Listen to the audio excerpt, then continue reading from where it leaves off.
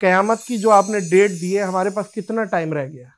नहीं हमारे पास जो है टाइम तो बहुत कम रह गया है। कम रह गया? बहुत कम रह गया है। और एक तो डेट जो मैंने अपने प्रोग्रामों में बता चुका हूँ कि जिसमें सूर फोकी जाएँगी वो पंद्रह सौ बत्तीस हिजरी पहली मुहर्रम जुम्मे का दिन आएगा।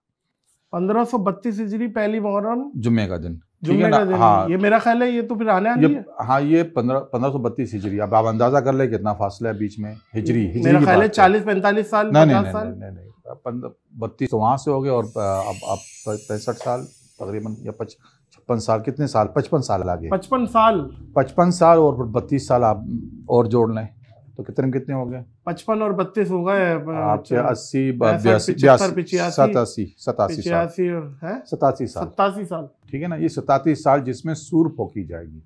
लेकिन उससे पहले जो वाकयात है ना वो बड़े यानी हेबतनाक है दिल दहलाने वाले हैं। अल्लाह हाँ। वो ऐसी तस्वीर है कि जिसमें आप अगर मैं मेरी बात को समझ गया और या मैं तस्वीर बनाने में कामयाब हो गया आपके सामने। हदीस और कुरान के हवाले से ही बात कर रहा हूँ। तो शायद आप सोना भूल जाएँगे ख्वाब देखना भूल जाएँगे। बिल्कुल और वो बड़े करीब है। लेकिन तिजानी साहब एक बात है कि कयामत का तो इल्म सिर्फ़ अल्लाह की ज़ात को है।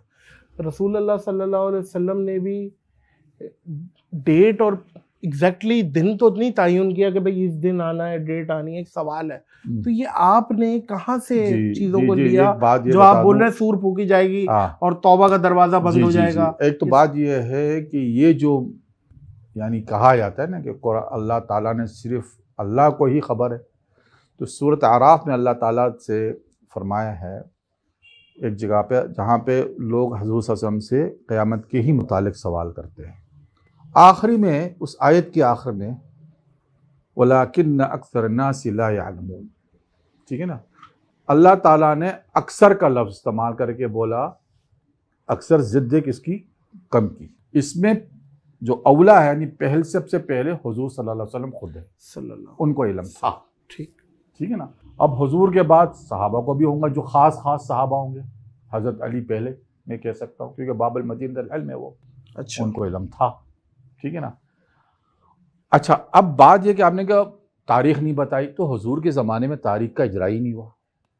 हाँ, वो तारीख तो फिर हज़रत मौला अली के दौर में। हाँ नहीं हज़रत अबू अबू बकर से हज़रत हाँ, उमर के दौर उमर में के दौर में। और मौला अली ने की। हाँ ठीक है ना? हिजरत मदीना के बाद। हाँ जब ज़रूरत पड़ी कि भाई तारीख लिखी जाए तो उन्होंने कहा कि भाई हिजरी तारीख शुरू करे हिजरी से तारीख। शुरू करे और चाँद की तारीख से इसको बयान। कर दे। तो इस तरीके से बात चली। अच्छा अब हदीसों से जो हमें समझ में आती है कि हुजूर वसल्लम की उम्मत को 1500 बरस की मोहलत दी गई है और उम्मत से मुराद तमाम दुनिया है। इससे मुराद सिर्फ़ मुसलमान नहीं आ मुसलमान है नहीं है ठीक तमाम दुनिया ठीक है ना?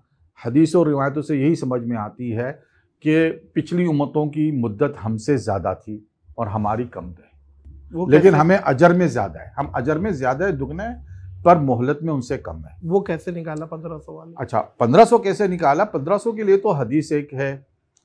और दीगर हदीसों में, रवायतों में जहाँ उनकी उम्र की डिफाइन होती है, वो होती है कोई 2500 बरस एक रवायतों से और एक रवायत से 2100 बरस बनती है और यहाँ जो हमारी जो उम्र और मुद्दत बनती है, वो हजूर वसल्लम की एक हदीस है जो अबू दाऊद में भी है और सुनन अहमद में भी है, दोनों में। उनमें बस थोड़ा सा अल्फाज का मैंने वो है इख्तलाफ, लेकिन मायना यही बनता है कि हजूर वसल्लम ने अपनी और अल्लाह ताला से दुआ की कि मेरी उम्मत की मुद्दत के लिए थोड़ी सी ताख़ीर कर दी जाए आधे दिन की। और पूछा गया कि आधे दिन से कितनी मुराद कह लेंगे? पाँच सौ बरस। ठीक है ना? अल्लाह ताला कुरान में कहता है कि तुम्हारा एक एक हज़ार बरस एक दिन है। मेरे पास एक दिन। सही। ठीक है ना? अच्छा इस वजह से आपने पाँच सौ ये पंद्रह सौ बरस ये सिर्फ़ मेरी नहीं। अच्छा ये एक बात बता दूँ। सही पंद्रह सौ बरस पे मुझसे पहले भी उलमा इतफाक कर चुके हैं। सही। ये बात मेरी नहीं है सिर्फ़ कि मैंने कोई ये नई बात निकाल ली। ये मेरी नई बात नहीं है। पिछले भी जो उलमा जो इस फ़ील्ड में काम कर रहे हैं उन्होंने भी यही डिफाइन किया कि 1500 बरस ही हुसैन वसल्लम की उम्मत की जो है ना इस हिसाब से क्या बनती है जो ड्यूरेशन है? अब 1500 बरस जो है ना हमारे पास जो है ना दो गर्दिशें हैं। और कुरान शरीफ में अल्लाह ताला ने सूरज यूनुस में फरमा दिया कि चाँद और सूरज को पैदा ही इसलिए किया गया कि तुम अपने दिनों को और बरसों को इसमें गिन लो। सही है। चाँद की अलग है सूरज की अलग अब हाँ? इनके बीच में डिफरेंस है ग्यारह दिन का। अच्छा ग्यारह साल में। सही। और एक सदी में तीन तीन बरस का आ जाता है डिफरेंस और 1500 बरस में 45 बरस का डिफरेंस आ जाता है जो डिफरेंस आता है। पंद्रह सौ बरस में पैंतालीस साल का डिफरेंस आ जाता है। डिफरेंस आ अच्छा। ठीक है। अब ये डिफरेंस को समझना है क्योंकि जो वाकयात और हवादिस जो आएँगे ठीक है ना उससे हमें समझ में आती है कि ये डिफरेंस जो है इस तरीके से डिवाइड होंगी। एक तो बात यह है कि हजूर की बासत से लोगों पे अल्लाह ताला की हजत कायम हो गई। यानी हजूर सल्लम आए तो हजत शुरू हो गई अल्लाह की कि यह आखिरी नबी आ गया अब इसके पैगाम को जो तस्लीम करेगा वही कामयाब है। तो आपकी बासत से हमने सूरज की गर्दिश को लेना शुरू किया क्योंकि चाँद की गर्दिश का हिसाब जो है वो हिजरत से शुरू हो गया है। वो तेरह तेरह बरस की बात की बात है ठीक है ना? तो पैंतालीस में से तेरह बरस पहले काट लिए तो कितने बचे? बत्तीस साल। बत्तीस साल। अब बत्तीस साल आगे कर दीजिए जाए जब पंद्रह सौ बरस हिजरी पूरे होंगे तो आगे बत्तीस साल होंगे। तो जब बत्तीस साल पूरे होंगे तो सूर पहली सूर फोंक दी जाएगी। पहली सूर इस हिसाब से? पंद्रह सौ बत्तीस हिजरी पहली मुहर्रम। कितने सत्तासी साल बन रहे हैं? ये तो सतासी साल बन रहे हैं टोटल जो भी हम भाई साहब हैं। जो हिसाब के हाँ हिसाब से सतासी साल। पहली सूर फूक दी वो पहली सूर फोंकी लेकिन लेकिन तिजानी साहब हम्म। हज़रत तमीमदारी पे आ जाते हैं। हज़रत तमीमदारी ने दज्जाल से मुलाकात की। और दज्जाल ने कुछ चीज़ें पूछी क़यामत के मुताबिक हम्म। कि मैंने आना है फला चीज़ हो गई है फला चीज़ हो गई है फला चीज़ हो गई है। तो उनमें से बहुत सारी चीज़ें तो अभी नहीं है। हम मैं बताता हूँ तो वो अभी ये सत्तासी साल में ये सब कुछ होने वाला है। बिल्कुल होने वाला है। अच्छा। बल्कि उससे पहले जो कुछ होने वाला है वो तो आप उसको जो समझेंगे तो आपकी तो पैरों तले ज़मीन निकलने वाली है। अभी मैं बताता हूँ। पहली चीज़ तो ये है कि क़यामत की बहुत सी अलामतें हैं। कुरान में जिसका ज़िक्र है। और एक जो मशहूर हदीस है हदीस जबरील। हदीस जबरील। जिसमें हजूर सल्लम से जबरील अलैहिस्सलाम आए थे और उन्होंने हज़रत उमर से ये मतलब रिवायत है। हदीस जबरील जो है उसमें अल्लाह रसूल सल्लम ने दो बड़ी अलामतों का ज़िक्र किया है। एक अलामत तो ये है कि कहा कि नंगे दड़ंगे लोग बकरियाँ चलाने वाले ये ऊँची ऊँची इमारतें बनाएँगे यानी एक दूसरे से सबकत ले जाएँगे। सही। और चूँकि मेरी पैदाश शारजा की है ओहो वहाँ मैं तो पला पूछा हुआ हूँ तो मेरे मैंने अपनी आँखों से वहाँ रेगिस्तान के अंदर ये मैं जब चार पाँच साल का था उस वक्त तो सांप को काले सांप को यूँ चलते हुए देखा था। अच्छा।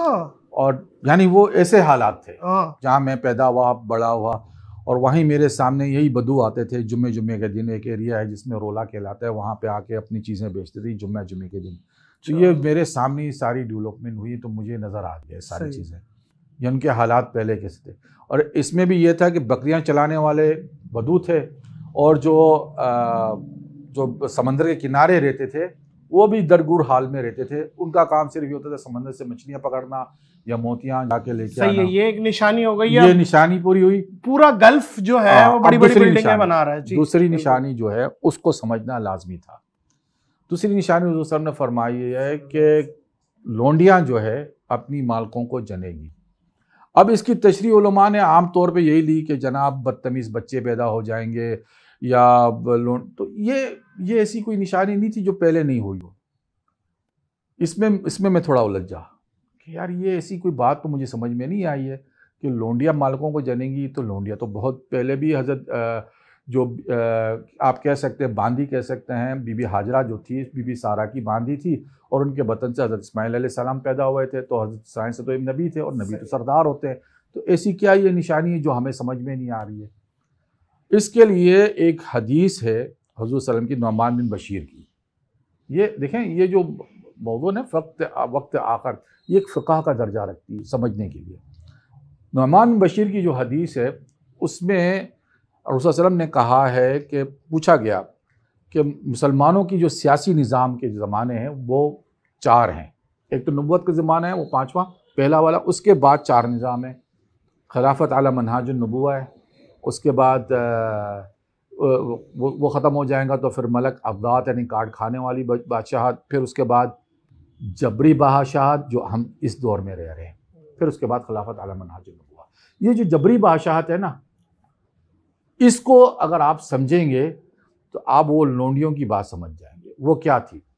असल में अरबी लगत के अंदर एक लफ्ज़ है उम्मा जिसके मतलब है कौम और वहाँ हदीस में लफ्ज़ आया अम्मा इसके मतलब है बांदी।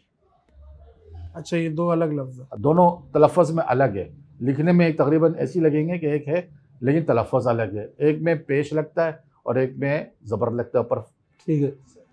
उम्मा और अम्मा का फ़र्क आ जाता है। तो मुझे सिर्फ़ ये ख्याल गुज़रा, ये ख्याल है, मैं गलत भी हो सकता हूँ कि शायद हो सकता है रावी को सुनने में, समझने में गलती हो सकती है।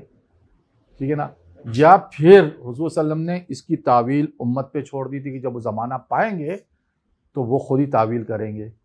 तो तावील ये बनती है कि आखिरी ज़माने में ऐसी जबरी हुकूमत, यानी इस्टेब्लिशमेंट आएँगी कि जिसमें कौमें लोंडियाँ बना दी जाएँगी और वो फिर जो है अपने मालकों को जना करेंगी यानी चुना करेंगी।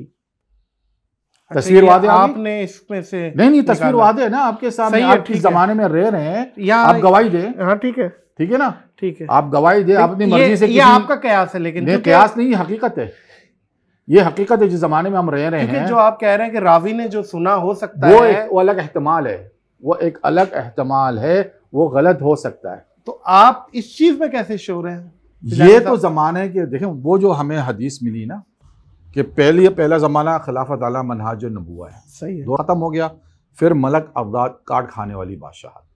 ठीक है ना वो ज़माना भी ख़त्म हो गया जब सल्तनत थी सुल्तान हुकूमतें थी और आज भी है कुछ ऐसी सल्तनतें जो अ, अपनी मतलब ख़ानदान के नाम से चल रही है इस तरीके से। आज का दौर जो है वो जबरी है।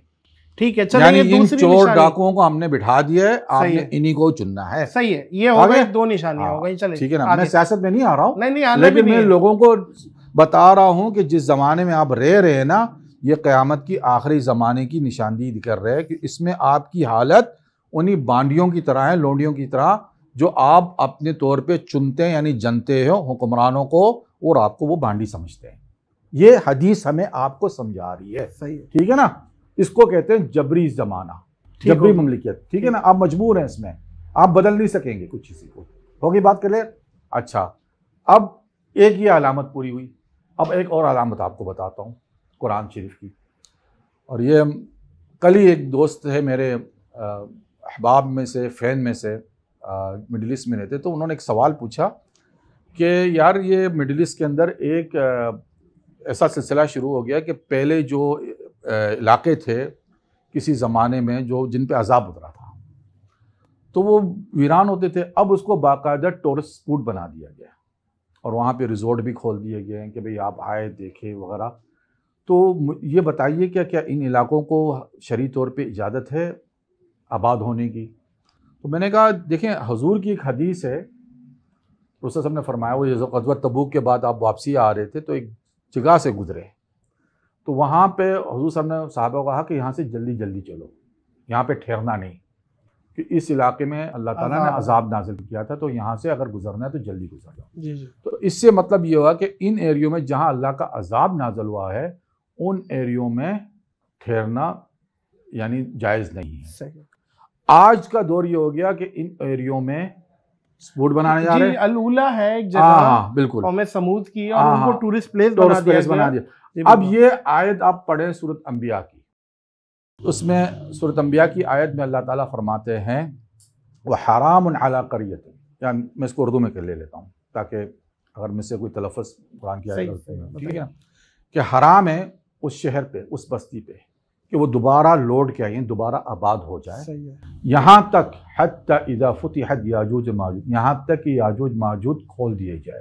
हम्म। और वो वो मिनकुल हद वो हर बलाई से या टेले से जो ना उतराई से नीचे आएँगे।